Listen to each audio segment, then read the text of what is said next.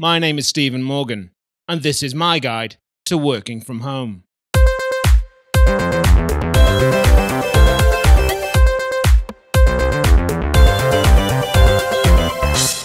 Many people struggle to find ways to be productive when working from home.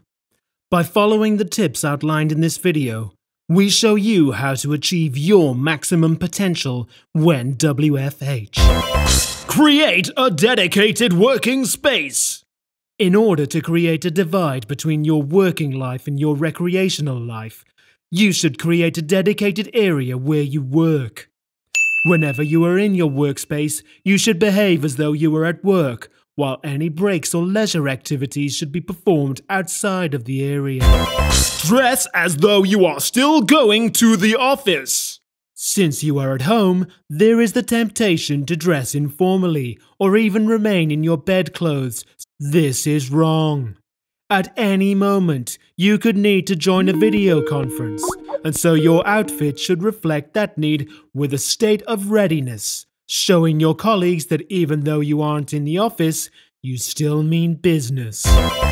Perform regular exercise. Without a commute, it's easy to live an unsatisfactory lifestyle, eating unhealthily and doing little to no exercise. A sedentary lifestyle is a bad choice. In order to function at your peak capacity, you should perform a daily exercise routine. With modern exercise routines, you don't even need to leave your home. Why not try? The filibuster squat. The Farnborough spring.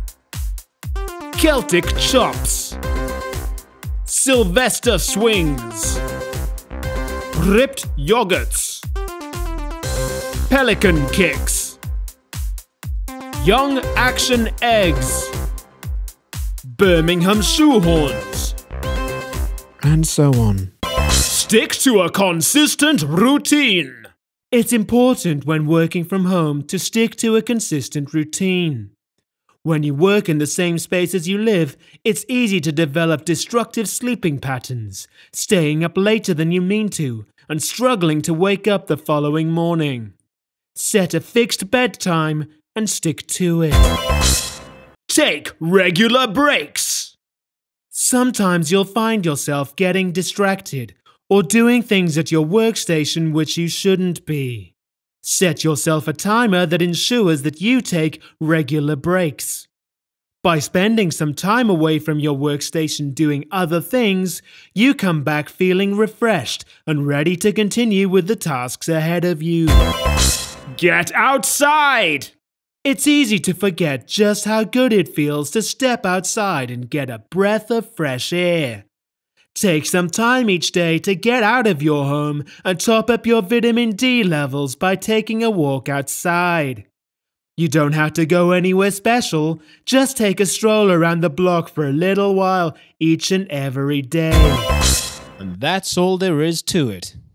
If you have any hints or tips that help you be more productive when working from home, then please leave them in the comments.